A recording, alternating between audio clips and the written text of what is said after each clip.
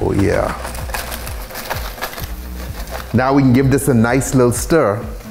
I don't know if this sieve could hold this.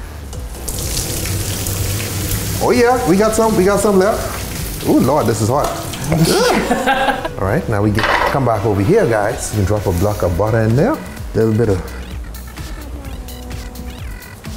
oh yeah, yes. You just gonna put a nice little, Oh, how fancy. let's get a nice little cheese bun right here. And there you have it. Okay, it's, it's um mashed potato wheat. Oh, Don't taste that much different from regular mashed potatoes, just a hint of Pringles, you know what I mean? Stay delicious, homeboy. Please, sir, can I have some more? No.